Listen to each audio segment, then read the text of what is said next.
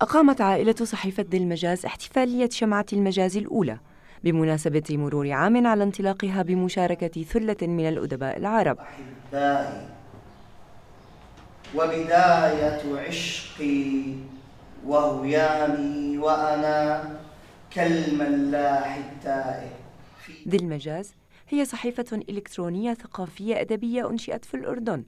شارك فيها أدباء وكتاب من الوطن العربي. اهتمامنا الأساسي هو الشعر يعني القصيدة العمودية التقليدية وقصيدة النثر وقصيدة التفعيلي بالإضافة إلى أدب القصة وأدب الأطفال الدراسات والحوارات الأدبية عنا حوارات أدبية نجريها نحن مع أدباء من مختلف أنحاء الوطن العربي.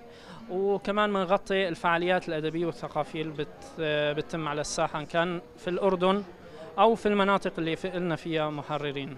الذي يأخذ ويأخذ ثم يذهب بنا بعيدا. فكرة ذي المجاز هي جمع أكبر عدد من الأدباء والمثقفين من الوطن العربي لتكون منبرا لهم ولكلماتهم.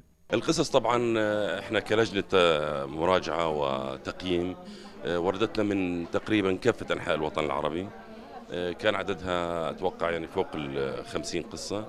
وطبعا إحنا يعني قررنا بدون معرفة الأسماء أسماء القاصين حتى ما يكون في يعني تدخل كانت تجينا بأرقام من خلال منسقة البرنامج الأنس العام.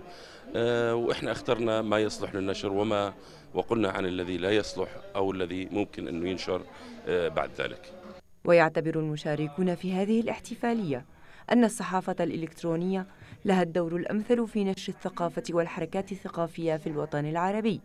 أي احتفالية ثقافية هي تنشط الحركات الثقافية مفيدة جدا للوسط الثقافي.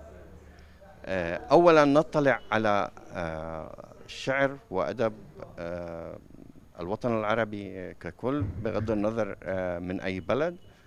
اثنين ممكن إنه يساعد الوسط الشبابي. في أن يتقدم ويظهر نفسه أكثر فأكثر. وهذا فائدة فيه في المستقبل للوسط الثقافي ككل. أنا ذهبت مع رؤاك المذهب. صحيفة ذي المجاز. هي حلم الشاعر السوري محمد طكو ولكنه لا يستطيع أن يعيش حلمه وحده بل أراد مشاركة حلمه مع جميع السوريين. راني حمور لبرنامج جولة الصباح.